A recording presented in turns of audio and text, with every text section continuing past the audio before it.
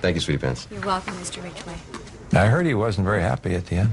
Ah, he's just one of those glass half empty kind of guys, you know what I mean? He questioned every little stupid detail. You sound pissed. Men have been murdered for less.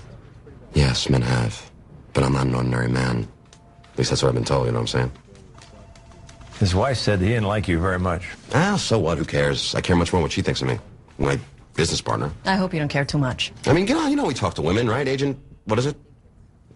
Gibbs. Right. I mean, you know, we just didn't see eye to eye, you know? He'd always complain to his wife about me, and I complained to my girlfriend about him. Like, I would assume you complain to your wife about this one. Her? uh, no, I wouldn't mess with her. Yeah? Well, why would he say that?